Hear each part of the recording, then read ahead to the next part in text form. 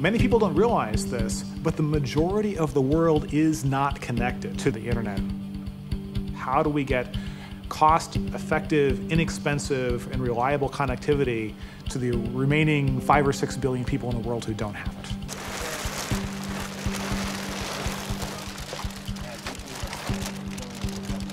Yeah, we can be up in an hour.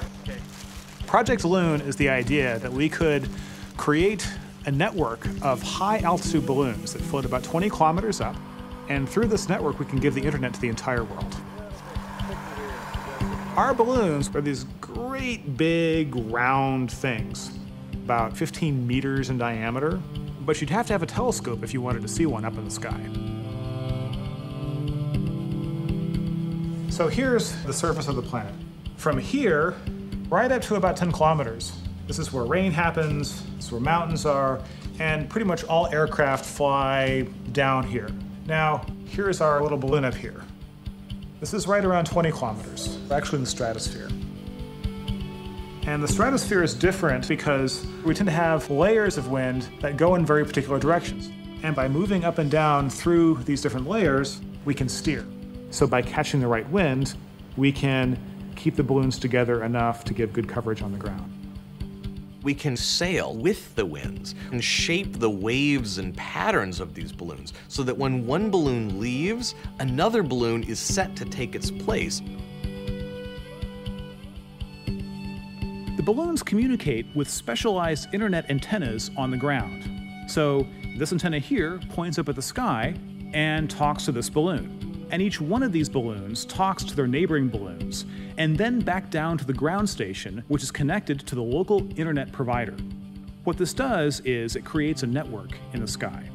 Let's carry on then. We need to get that antenna We've designed our radios and antennas specifically to receive signals from Project Loon only in order to achieve the high bandwidth over long distances involved. If we didn't filter out the other signals, the technology just wouldn't work. I got it.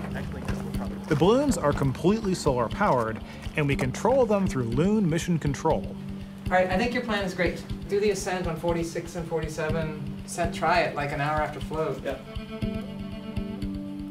Okay, we're gonna be off the ground in a couple minutes. Before we send them up, we talk to air traffic control. We let them know these balloons are on the way up so they know where they are. And before they come down, we also talk to air traffic control.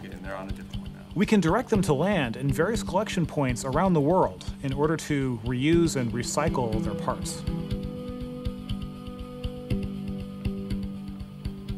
Now, we have some ability to steer in general. However, in the stratosphere, most of the time, the winds actually flow from west to east.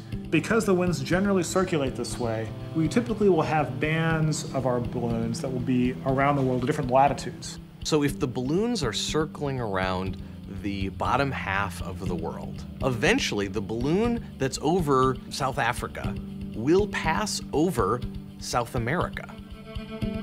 One, two, three.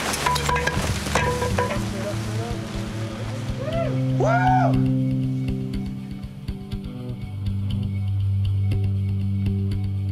We're using the sunlight, we're using the wind, we're using all of these things to build this network in the sky. Project Loon is working to bring the technologies of access to everyone on the planet.